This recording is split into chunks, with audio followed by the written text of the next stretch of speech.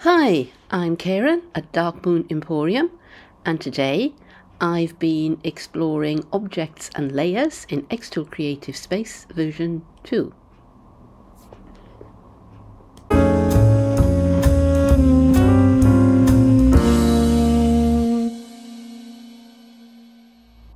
Couple of ways of getting shapes onto our canvas. So over here on this icon, I have my basic shapes. I have my line, my rectangle and my circle. If I click on line, that kind of does what it says on the tin. Click and drag and let go when my line is long enough. Um, if I want the line to be at a different angle, I can do that. If I want my line to be perfectly horizontal or vertical, all I will do is hold down the shift key as I'm drawing my line and it is constrained to either vertical or horizontal. Let me get rid of all of those. As you can see, the icon has changed to the last object I used. So rectangle, I can place a rectangle anywhere on my canvas. If I hold down the shift key, I'm constrained to a perfect square.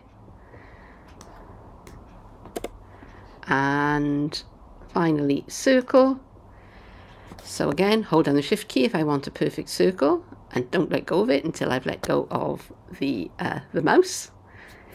Because if I don't, it will turn into an ellipse. Undo those. So those are the basic shapes and those were the shapes that were available uh, as far as I can tell in the very first version of XCS. Yeah, we only had those three shapes. So then with updates, uh, Xtool added the shape menu and here I have a choice of all sorts of shapes. Uh, I've got borders, plants, animals, patterns, parts, other, I've just got some, it's another, let's have a look. Some interesting icons in other, you can explore at your leisure. Uh, today I'm going to use the basic shape, so I'm going to bring in a hexagon. Let me click back out of that, and as you will see, it has placed it in the middle of my canvas. Uh, no um, options about how big it is, but I can change the size either by dragging on the handles. And by default the aspect ratio is locked okay? So it's going to keep its aspect ratio no matter what I uh, what I do. If I want to release that I just click on that icon here and now I can play about with the shape and size. If I want uh, more exact control, I can enter whatever figure I like into the uh, these little boxes over here.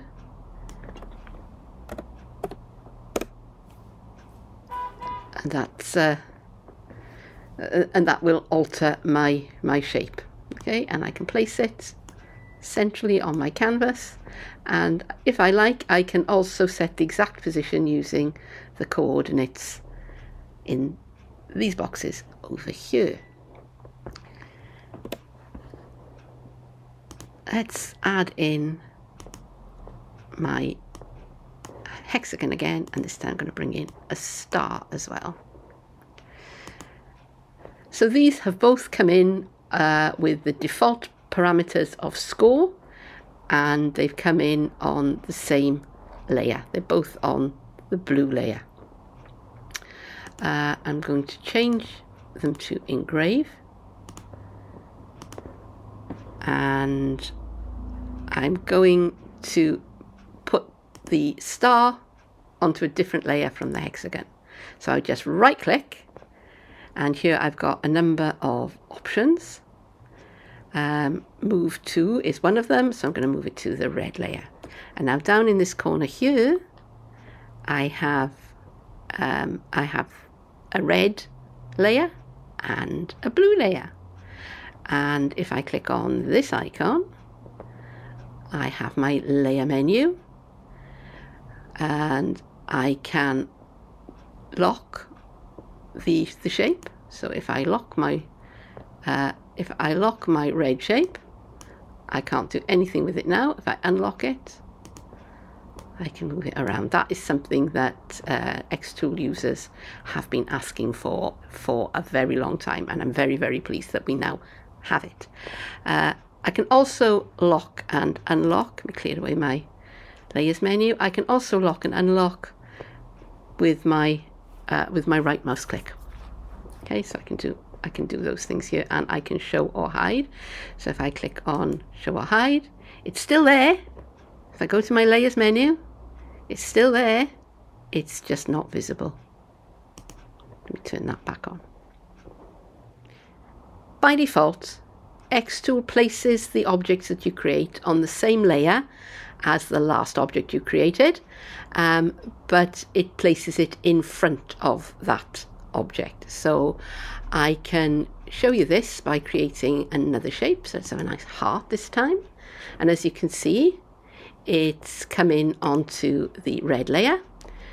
It's come in by default is score. So let's make it engrave. And let's put it onto another layer so we can see it. Okay, so that heart is now the top object. If I want to move it, let's say I want the star to be in front. So let me click on the star.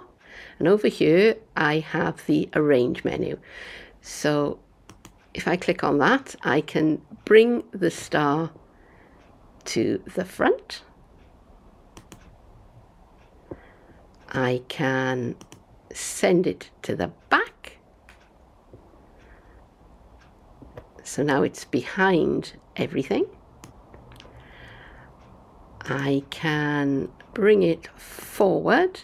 So now it's behind the heart, but in front of the, the rectangle. And let me send the heart backward. Sometimes the order in which you have your objects can make a difference. If you're using, for example, the um, some of the combine functions. So here I've got my blue hexagon and my red star. Uh, if I select both of them and I hit my unite function, then that is the shape I get. And Xtool has put them both onto the blue layer, which was the which was the layer at the back. If I go to these two and I combine those, again the shape is the same, but Xtool has placed them again on the layer that was on the back. And so here again, same two shapes, now this time I'm going to subtract. Don't want all of them. Just want that one and that one. Okay. So the red star is on top and when I subtract it takes the star shape away from the hexagon. If I have it the other way round so that the hexagon is on front and I subtract it takes the hexagon away from the star. So that can make a difference to what you're doing. So the other functions are united overlap,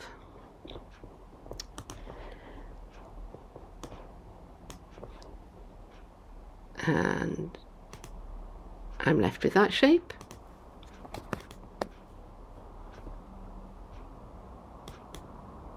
And again. It's the same shape. It's just placed it on a different layer. Okay? And last function is subtracted overlap.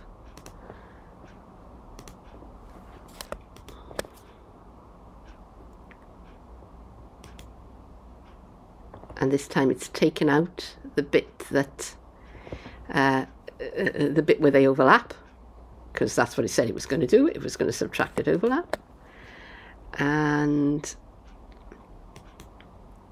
and again, it places the object uh, on the, the layer that was at the back. So something else that I can do with the shapes, if I select them both, over here I have an alignment menu, so I can uh, align them both to the left and do that. I can align them both to the right. I can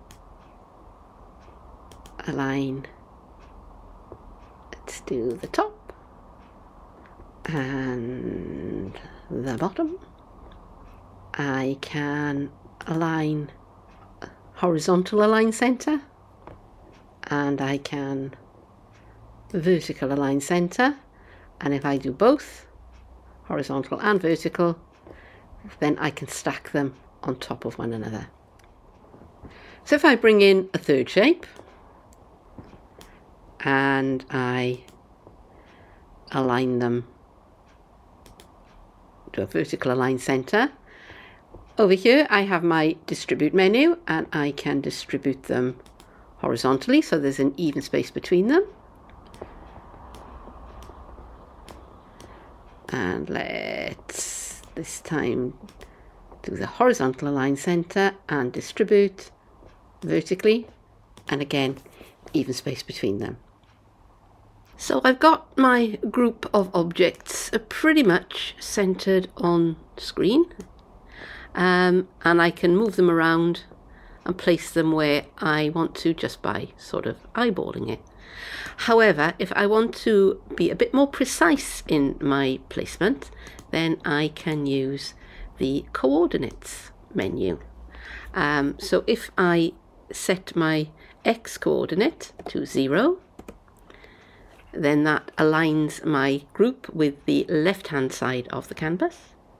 And if I also make y0, then it aligns with the top of the canvas. So that means that if I want to place my uh, object at, let's say, uh, 30 millimeters on the x-axis, and let's make it 25 millimeters on the y-axis then I can do that simply by edit putting in the numbers the other thing that I can do over here is that uh, I can adjust the size uh, which I've probably mentioned before but it's worth saying again. And I can resize it just by dragging the corners. And if I want to distort it I can unlock the aspect ratio and that will allow me to to stretch things out. But uh, let's go back to where we were. Um, and another thing that I can do is that I can adjust the angle now of course I can rotate my uh, group just by uh, just by clicking on the the little rotate tool up there at the top there. However, if I want it to be precisely, um, let's say 30 degrees, then I can enter that in. Um, let's make it 45. And 180.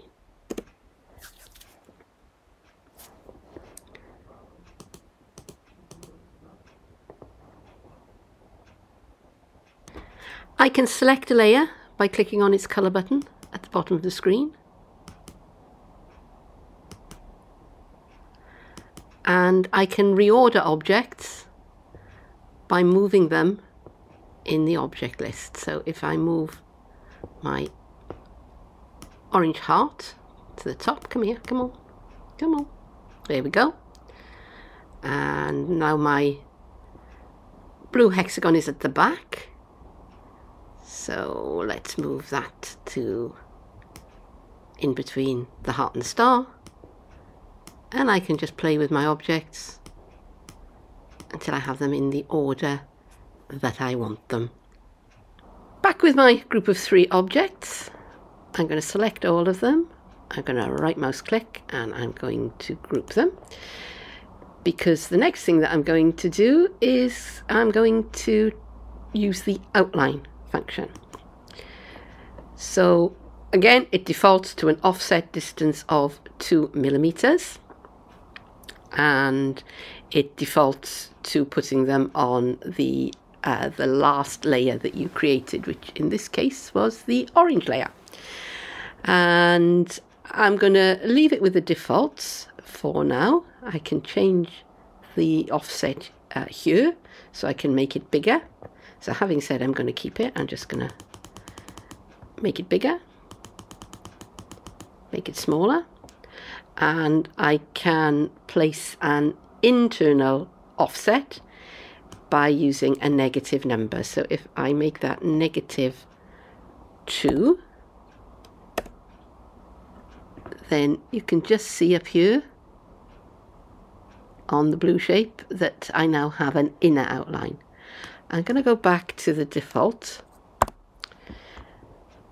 and I'm going to enter that and okay you have to hit enter if you change if, if you change the size. Okay so there is my outline. If I move that again to a different layer so we can see it and if I make it engrave so we can see it clearly. Now you can see that that is on top of all the other shapes that I made. Uh, let's say I want to make that shape a frame I want to take out the the shapes that were in the middle. Well, what am I going to do? Well, I'm going to go to uh, send to back. And now it's behind uh, my, my group. I'm going to make sure I've got everything selected. And I'm going to go to subtract. And that has taken away my shapes and left me with the outline. So at the moment I'm just working on one canvas. If I wanted to add an, another canvas to my project because I wanted to um, store some items that I wanted to let's say cut and paste into my uh, into my project then I simply come up here to the canvas tab click on it and that opens uh, the canvas workspace. To add a canvas, I just click on the add button and now I've created canvas 2.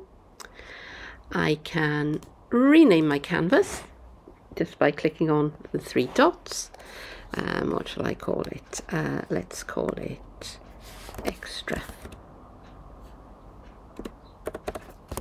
I can call it anything I like actually um, and if I decide that actually I don't want it after all again the three dots and I can just delete it. It gives me a warning to say do you really want to uh, delete this canvas? Yes I really do because I haven't got anything on it. So I'm just going to okay that and now I'm back to one canvas and I can collapse the workspace just by clicking on at that tab up there